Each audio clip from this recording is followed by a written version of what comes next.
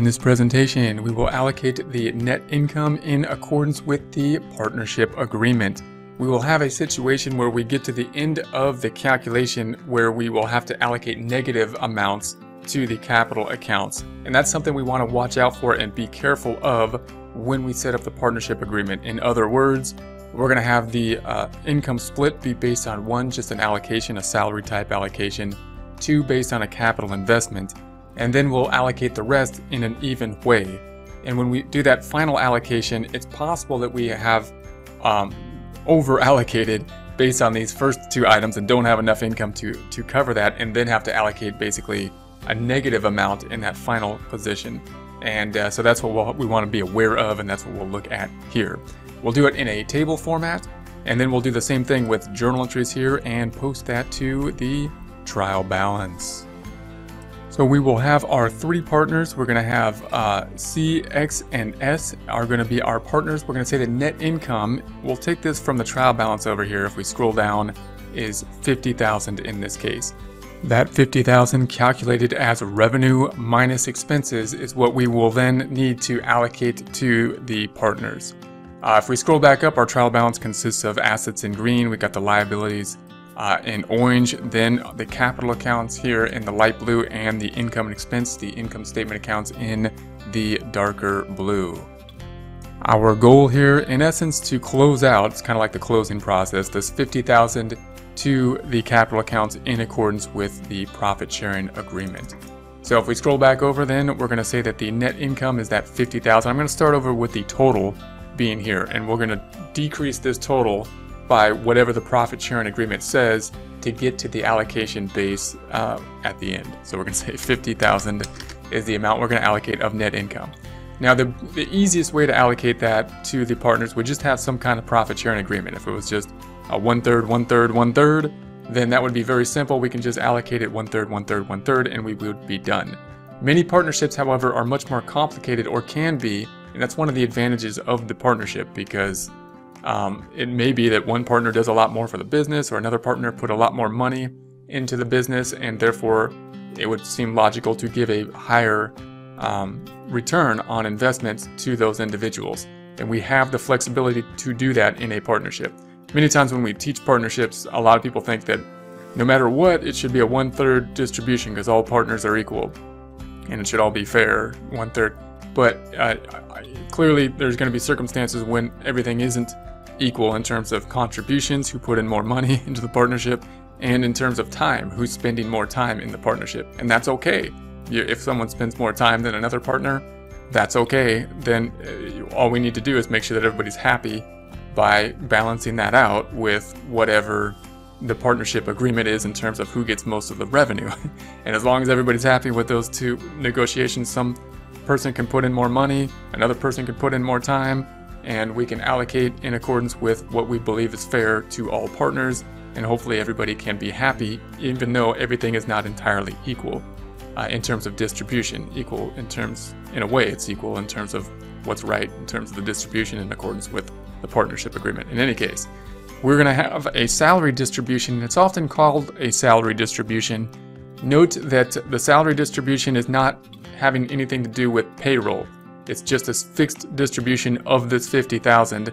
Because it's fixed, it's kind of like a salary. So we're just going to take that out of this $50,000 amount, the salary amount.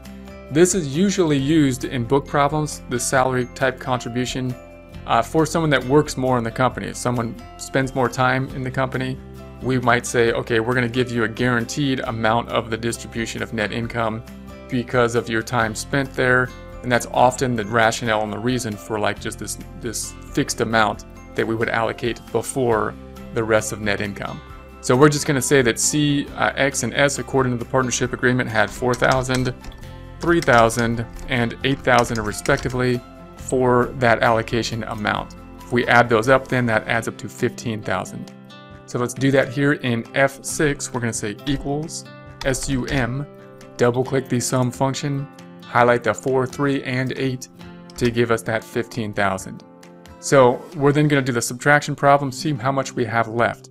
This is our first allocation base. We had 50,000 before, we allocated out 15. So the difference equals the 50,000 minus the 15,000 or 35,000. So then the 35,000 is what we have. Now, we're also going to say that the capital uh, account, we're going to allocate uh, an, amount to the owners in accordance with their capital account at the beginning of the time period at 10% of their capital account. And this is another thing that's pretty common, a, a, way that we can try to give more benefit to people that put more money into the partnership. In other words, if, if we need money, of course, in the partnership to get going, especially in those beginning years, and in order to incentivize the partners to put more money in and leave it into the partnership, rather than take it out and put it in, in investments or something like that, we can give a return on the initial investment. We will get these amounts from the capital account. So if we scroll back over here and we pick up these capital accounts, this is usually what the capital account was at the beginning of the time period because any withdrawals we had, we recorded in a separate withdrawals account. So uh, it could be possible that someone put more money in and we would have to check that with uh, on the on the uh, general ledger to see if if, the, if this is not indeed the beginning balance. What we don't want to have happen is for a partner to try to put money in at the end of the partnership and then and then get more distribution just because they put money into the partnership at the end of the year. Uh, so and when the partnership agreement was at the beginning of the year, but uh, normally, this capital account, if there was no investment, is the partnership amount as of the beginning of the year. So we're going to use that for our allocation percent. So for C then, we're going to say this equals the 144,000 times 0.1 or 10%. For X, we're going to say that this equals 216,000 times 0.1 or 10%. And then for S, we're going to say this equals 120, and note I'm just picking these up over here, 1,000 times 0.1 or 10%. So it's an allocate, it's, it's a, a distribution that we just uh, came up with within the partnership agreement. We just agreed that we're going to pay 10% based on the beginning capital accounts of net income. Now note that that adds up to uh, 48,000 and we only had 35,000 to allocate of net income remaining. So if we add this up with the sum function in F8 equals SUM of these three, 14, 4, 21, 6, and 12,000, we get 48,000. Now if we subtract these out, we only had 35 left, so we're going to end up with a negative number. That's the problem. So we're going to say this equals the 35,000 minus the 48,000. Now we have a negative 13,000 because we over allocated. We over allocated the money, the net income. We only had 15 and we allocated more than 15 by 13,000 more than the 15. So now we're going to have to allocate the rest in accordance with what we say the profit sharing agreement is at the end, which we're saying is going to be an even allocation. So that means that we're going to have to take this 13 and allocate it evenly, which could really uh, be a consequence that would be unusual to the partnership. I mean, the partnership may not have expected that, so we want to make sure that the partners understand that if we don't uh, clear whatever the balance is to cover these two restrictions, then the remaining amount will be distributed evenly between the partnership, which could be kind of counterproductive in some ways because when we allocate the net income in this format, we're trying to allocate to people that put more money in. So, for example, this this this KX's capital account went we allocated 21,600 to X because X put more money in and therefore helped the business supposedly more by having more capital investment. So we allocate more of the net income earned by the company to X. But then if we have to allocate this loss evenly, then we're losing kind of that that uh, distribution that we tried to make uh, proportional to the contribution of the partners. So we just got to be careful that when we have a loss, we want to note what we're going to do in that case. We could uh, put some other kind of clause into our partnership agreement, like what happens when a case like this happens, or what happens when the company uh, has has a loss. What are we going to do in those cases? But something to be aware of. So we're just going to take this and we're going to have to allocate it on a one-third by one-third basis, which is going to reduce the capital accounts. So we'll do that by just saying this equals the 13,000 divided by 3.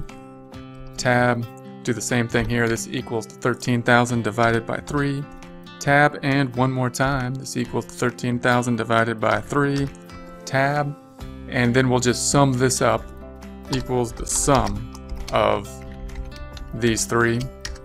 And there we have it. Now it should bring us down to zero. So now we're just going to add these up. The 4,000 plus the 14,4 plus the 4 minus the 4,333 4C should give us the amount of the original 50,000 we're going to allocate to C of net income. So we'll go ahead and equals SUM, double click the sum function and highlight all those. 4,000 plus 14,4 minus 4,333 gives 14,067. We'll do the same for x equals sum, double click the sum function, highlight that entire column, and tab 20,267 allocated to x, and then s equals the sum. Uh, we'll double click the sum function and add that up, giving 15,667. If we add these up, it should come out to 50,000. So equals the sum of these three. There's our 50,000. So now we've allocated this 50,000 out between C, X, and S, 14,067, 20,267, and 15,667 respectively. Now we'll do the same thing, we'll allocate that out in terms of our journals. We won't do the same thing. We've got the calculation now. Now we're going to allocate that uh, with journal entries to our trial balance. So we've got the net income here, and we're going to close this out. Now this is really just kind of a closing uh, process that we will go through here and uh, then allocate this out. So we want to go through the normal closing process we would see with any type of business, uh, whether it be a sole proprietor or a corporation or a partnership. And then the last component of it will be that allocation, and that's what will differ between the three types of businesses. So let's start this out. The part that would be the same for a partnership or a sole proprietorship or a corporation would be we'll close out the sales or the revenue and then the expenses. So sales has 120,000 in it. We're going to do the opposite thing to it to make it go down, which will be a debit. So we'll copy the sales, right click and copy. We'll put that up top in H5, right click and paste. One, two, three. The amount will be this 120,000 we're going to credit something for that same 120,000. I'm going to do that with a negative of this number. We could just type in negative 120,000, but I like to use that little formula. And then we're going to put that to the income summary. That's going to be our temporary account. It's a holding account used just in the closing process. So we'll copy that, right click and copy. We're going to put that in H6, right click and paste, one, two, three. Then we'll indent that, go into the Home tab, Alignment, Increase Indenting. And then we can post this. So we've got the sales up top. It's going to go to the sales down here. We're going to put that in N16, where we will say equals and point to that 120, bringing the balance from 120 down by 122, 0. Then we have the income summary, which will be posted to the income summary on the trial balance in N15 where we say equals, point to the 120 credit, bringing the balance from 0 up by 120 to 120. Next, we're going to close out the uh, expenses in another journal entry. Cost of goods sold and uh, wages are the only two that we're going to have here in the example.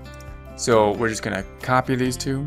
These are debits, so we're going to do the opposite thing to them and credit them.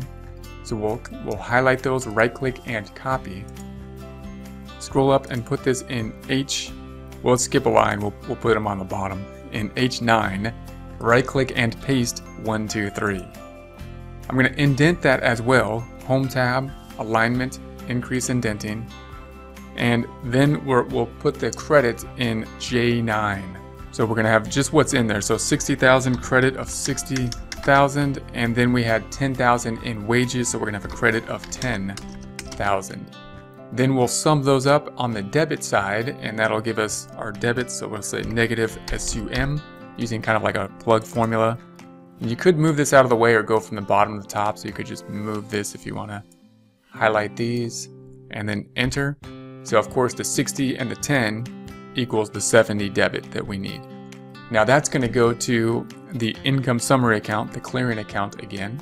So we'll right click and copy, put that up top in uh, H8, right click and paste, one, two, three. And there we have that. Now we'll post this one.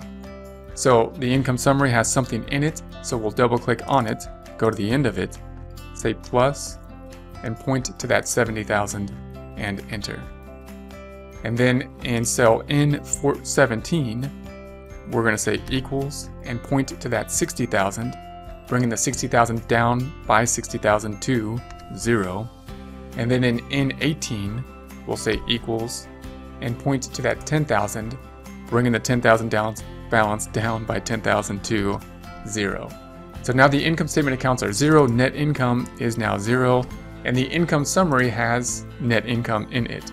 We need, we need to do, it's important to do that process, I think, because uh, a lot of problems, if you're looking at book problems, will just start at the income summary. They'll just say that income summary has $50,000 in it, and now we need to allocate that out.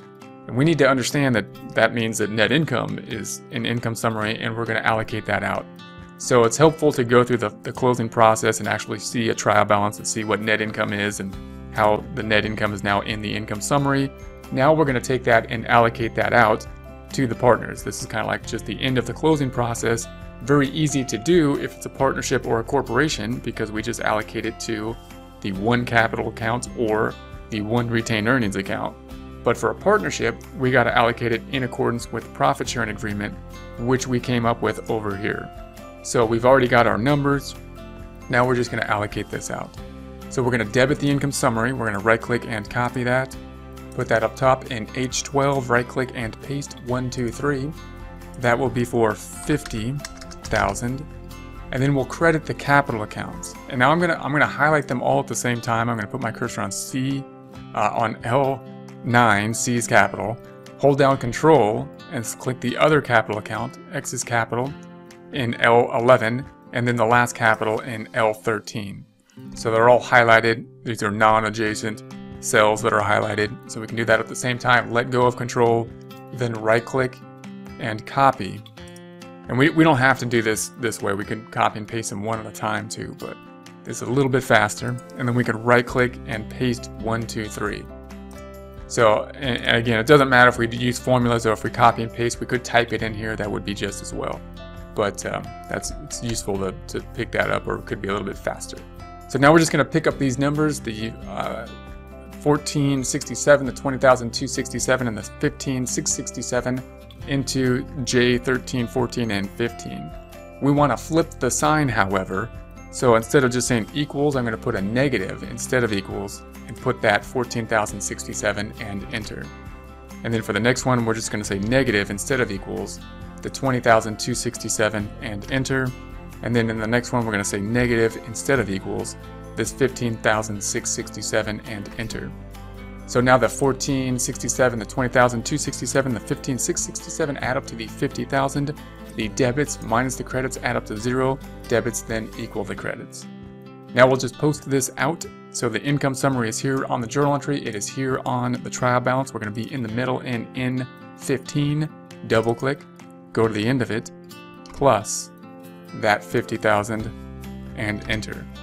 That brings the balance down here. Here's C's capital. We're going to go up to C's capital up top.